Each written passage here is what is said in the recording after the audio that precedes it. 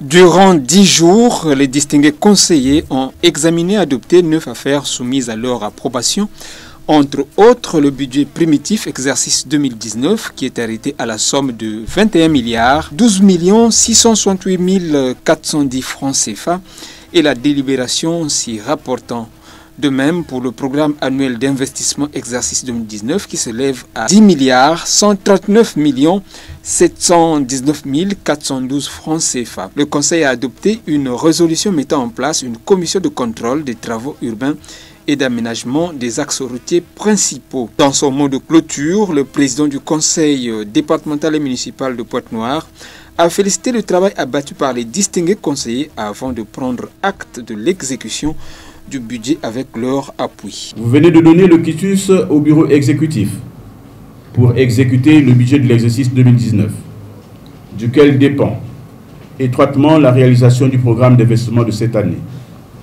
Le bureau exécutif s'emploiera à l'exécuter en comptant sur votre appui.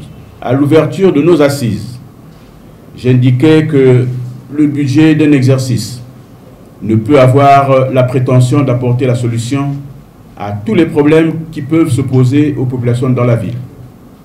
Voilà pourquoi l'opération recensement des contribuables engagée par le cabinet GIBS Consulting devra arriver à son terme afin de nous permettre d'avoir un fichier fiable de la matière imposable.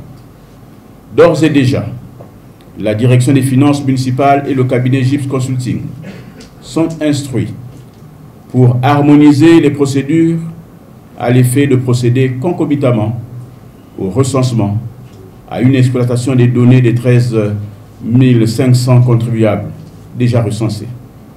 Aussi, la notification des contribuables au moment du recensement s'impose pour éviter de multiplier les opérations. François Kando a dénoncé les violences à l'école. Il a appelé l'ensemble des populations à prendre part aux dons de sang et invité les propriétaires des chiens à prendre toutes les dispositions à cause des cas de rage canine qui sont signalés dans la ville de Pointe-Noire.